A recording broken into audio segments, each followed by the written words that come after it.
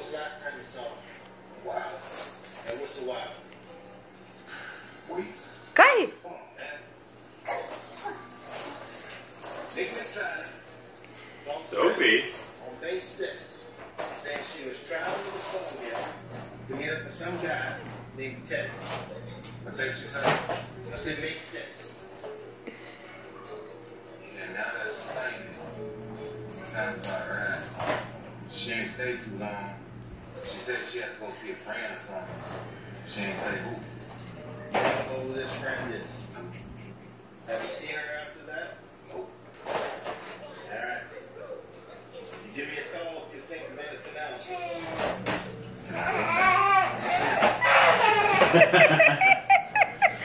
Corre, Sophie, corre!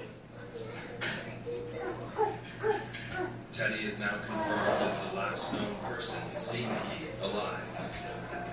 But there is no physical evidence to link him to any crime.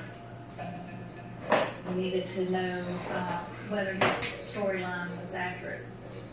So from this point, the investigation uh, turns to we got to get in his house and get his belongings. Okay, so you organize a search warrant, and uh, I'll call Columbia or you know Rick Cullen. With Nikki missing for two weeks now, any hope of finding her alive is running out. Detectives turn up the heat on Theodore Manning.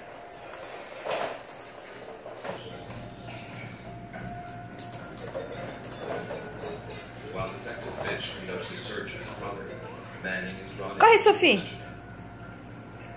So how often did you see Nick? Six months. E agora? Just. Really?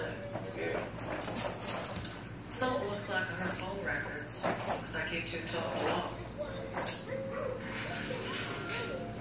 While we're interviewing him, Detective Finch remained at the residence with the crime scene units and processed the house. And he's texting us, telling us his findings.